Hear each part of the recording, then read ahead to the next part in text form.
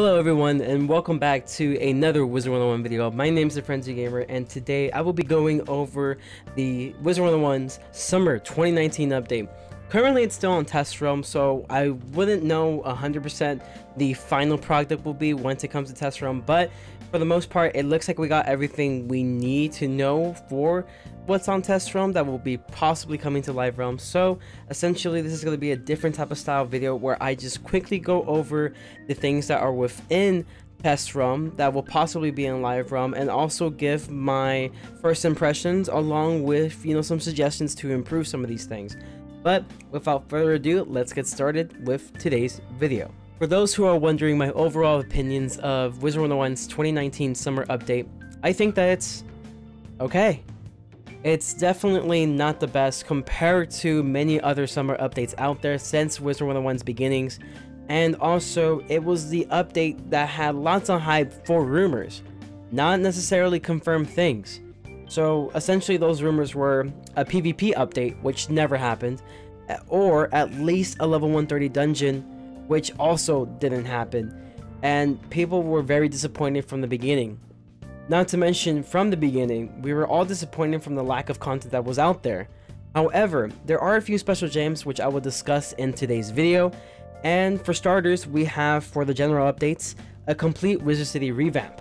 So essentially, they revamped Crab Alley, which is the last area that needed to be revamped for a complete Wizard City revamp. All HD, all new textures, new everything. And I have to say, um, I actually really like uh, the way Crab Alley looks right now. Um, it looks absolutely beautiful as you see in the background, you know, just me roaming around, looking at the different things within Crab Alley. You can see that there's a lot more life. Obviously, they added a little bit more aquatic life. Obviously, they added a little more textures to that aquatic life. And not to mention, they even added some jellyfish, which is actually my personal favorite. You know, just jellyfish, you know, just roaming around the area and it just it's just a nice touch you know that's all i have to say. It's a very nice touch. Obviously the plant life makes it look a lot more vibrant. The whole city in the air in general is just very vibrant which i absolutely adore. The other thing that we have is the advanced quick sell so this is actually the other thing that we didn't really ask for but we appreciate it 100% and if you don't appreciate it you're crazy. Because essentially what this does is that this now allows you to sell some pets and crowns items we normally have this one issue, especially for those who love to open lots of packs like I do, because obviously I do pack review. The main issue we tend to have is that sometimes we are given way too many crowns items, and most of these crowns items are also house items, making it hard for us to clear our, backpack space just to open more packs because of the fact that there's house items that are considered crowns items, and there's no other way of selling them except feeding them to your pet, which takes a very long period of time. So, with this, it makes it easier for a lot of people to clean their backpacks.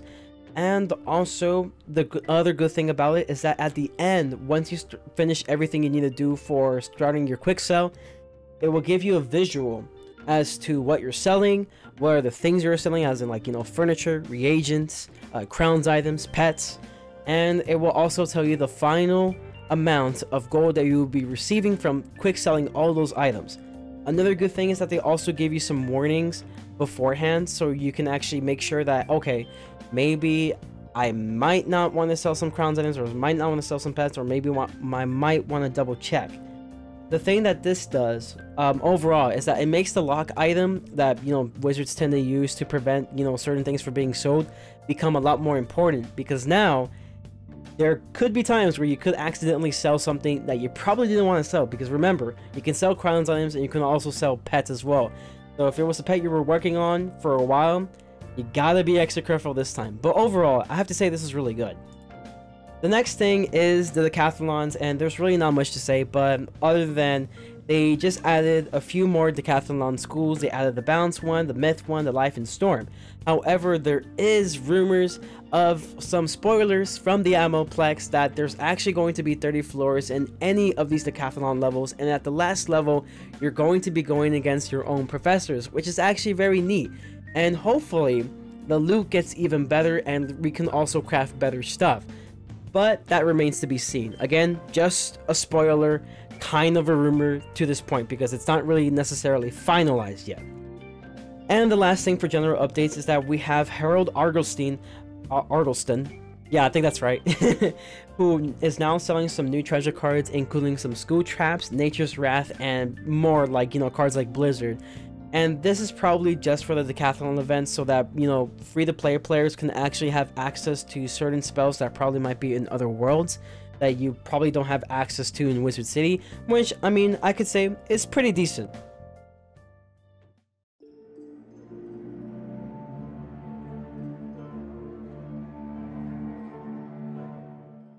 So, where do I begin when it comes to the first time user experience, or F2 for short? Well, I have to say that this actually has to be one of my favorite things of this update. They basically just made a new and improved version of the tutorial for newer players, and I have to say they did far beyond just improving the tutorial. Essentially, new players get a new healing spell called Heartbeat, and they also have an accuracy buff through their wand, which can help them in many battles. Not to mention, they even went out their way to actually change some of the scenery uh, to show that, you know, Rattlebones is a really huge threat. And also some amazing music. I have to say, this honestly has to be one of the most beautiful yet epic things I have ever seen from, you know, KingsIsle themselves for Wizard 101. It makes Rattlebones, like, seem to be compared to Malistaire in terms of hype. Because the music just goes so well with, you know, the threat that's going to be amongst you. And I have to say, it's just amazing overall. Abby Doodle was also a really nice touch. I actually liked her character. She's very quirky and, you know, very talkative, which I could definitely relate to both of those things in a way. And she just shows you around the world of Wizard City, you know, showing you, you know, where you can buy your stuff, you know, certain things that you can do within Wizard City, and so much more. So, honestly, overall, I have to say this definitely is a very, very good part of the update.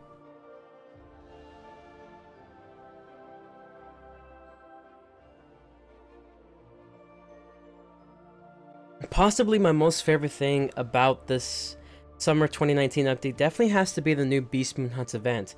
For those who don't know it, it's a team-oriented event where teams of six capture or defend battle rings of the Sun, Moon, Star, Eye, and the most important one being the Spiral. There are a total of 10 polymorphs to play as, each with their own unique abilities and purposes.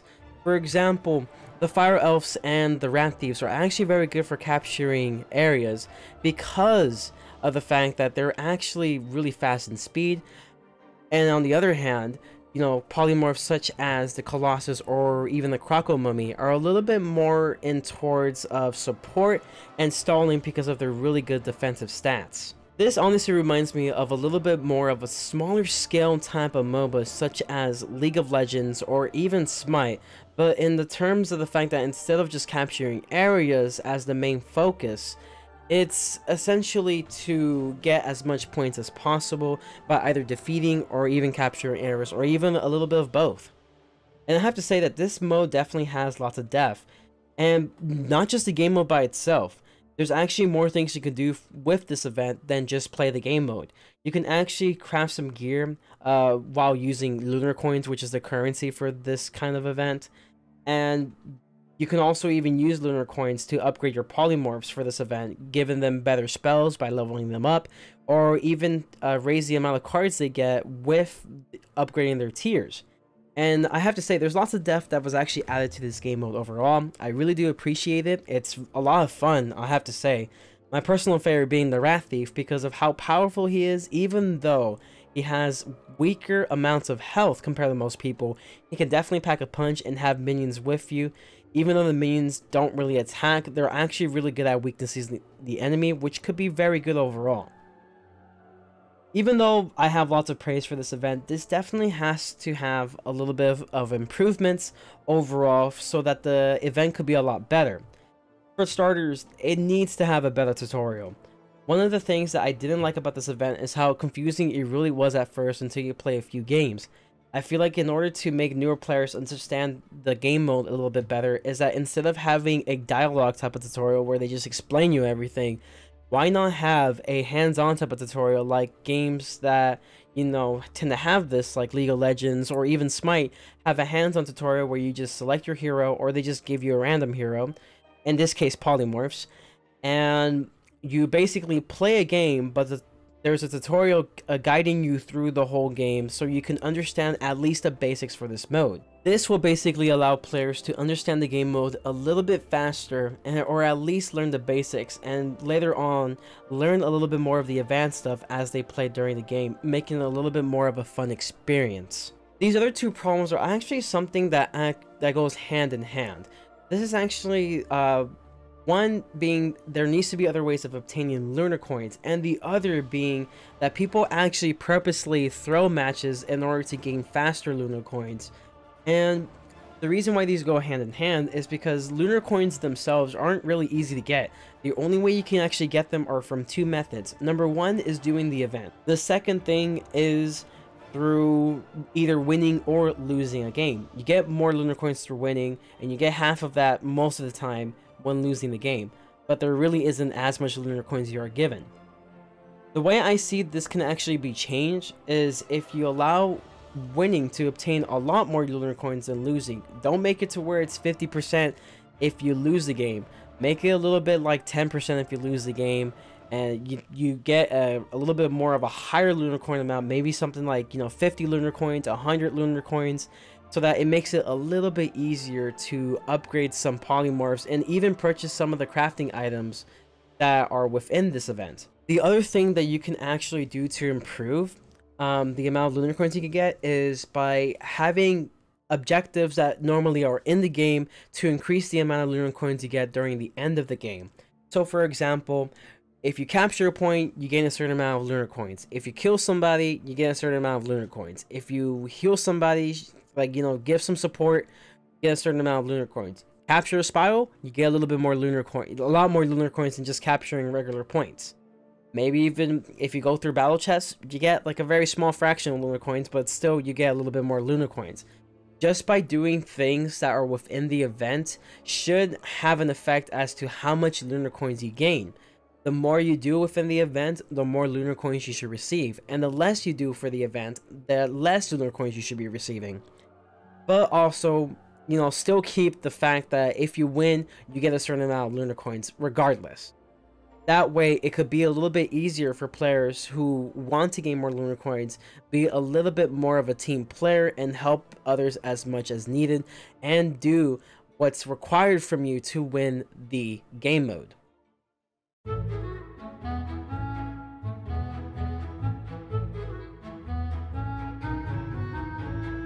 So to end off my small discussion of the summer update for 2019, I want to talk about the last two things, which is the Spiral Showcase and the Scroll of Fortune. The Spiral Showcase is a free-to-play event where you gain some extra rewards by doing everyday things in Wizard 101.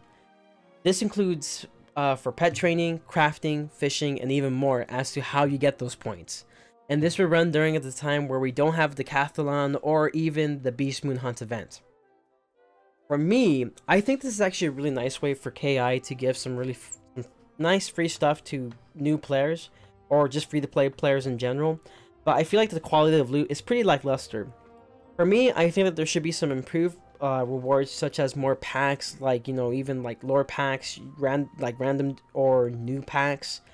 And it could even be something like mega reagent packs for like, because this would definitely help free-to-play players or new players uh, get some reagents that they probably have uh, issues getting. You can even have something like the 100 Rand Mandrake kind of pack thing, where you just get like some of these rare reagents that some wizards tend to struggle getting overall because of how rare they are, that can help them with their crafting. Something that could just help them overall would be really nice. I also think that the top tier should be at least like three packs. Uh, it could be either the newest pack or even some random packs so that some free-to-play players have a chance to at least get something out of doing this event overall. The next thing will be the Scroll of Fortune, which essentially is a battle pass for Wizard 101, where points are dependent on the ones during the events of both the Deckathalon and the Beast Moon Hunt events. One of my problems with this uh, Scroll of Fortune is that it's actually not crowns player friendly, which kind of sucks. For them, they have to pay 15k crowns instead of the 7.5 crowns that are for members. And there's also some pretty decent prices like the benefit elixirs, but most of the prices are lackluster. For example, one of the top tiers is literally a 7 day mount. That's literally one of the top prizes. Like, I kid you not. That's literally the top prize right there. One of the top prizes there. And it makes me really disappointed that, you know, most of this stuff that you get is pretty lackluster. There's some where it's like, oh, you only get, like, a few snacks. Or you only get, like, a few reagents or a few cards. It's, it's kind of very lackluster in terms of the quality of the loot. And you have to remember, you know, most players are probably going to be playing like 15k or even just 7.5k crowns just for a battle pass. And while this may not be a problem uh, for games like, you know, Fortnite because the game is free, the only thing you have to pay for is skins, which is not pay to win. Um, in this game, there's lots of stuff in this game that's pay to win for one. And not to mention, you have to pay to play. You can only play through Wizard City, and not even through the whole Wizard City. You can only play through certain sections of Wizard City. And we still have, like, a good amount of worlds to play through that you have to just pay for. So, the least that KingsIsle can do, in my opinion, is definitely make these prizes better. And I just want to credit right now, um, the person I got some of these ideas from are definitely from FM Sorcerer. He gave lots of really amazing ideas that I think could be really cool for this kind of battle pass to be a little bit better and more intriguing towards newer players and even current players. So one of the things that I was thinking uh, was a few things that they can actually do to improve this battle pass. And before I even start with some of these, uh, some of these I actually got from FM Sorcerer, so I want to credit him for these things uh, because he gave some really awesome ideas for uh, KI to actually listen to and hopefully implement with this new uh, Battle Pass. Or just the Scrolls of Fortune, but I'm calling it the Battle Pass because that's basically what it is. And essentially, I think one of the prizes should be, you know, lore packs that will allow players to have a chance to get lore spells, which could definitely help them overall because it could essentially just prevent them from you know, farming as much, you know, something that could give them some sort of benefit with their money. Another thing that I think could be really cool is that they add some special and unique gear sets uh, at certain tiers for wizards to use for stitching. I also would like to see some unique mounts because if you're gonna put mounts within, you know, this whole battle pass, you should at least have some unique permanent mounts that you guys create yourselves brand new for wizards to flex on and something, you know, very unique for them to have a purpose to buy this thing. I also think that there should be some unique and rare wands uh, during, you know, this whole battle pass at certain points of your tiers. It could be wands that are within the game that are just rare, or it could be wands that are newly created by KingsIsle to give, again, people more reasons to buy this. I also think other things they should add is some expand elixirs, such as the Friends, Bank and Backpack elixirs, because this can help a wizard with lots of things in terms of just carrying, you know, lots of really different things. Like, it's just helpful overall. And the last thing I will probably recommend is probably some unique emotes, which, you know, uh, again, back to what I said before, gives people more incentive to buy this battle pass.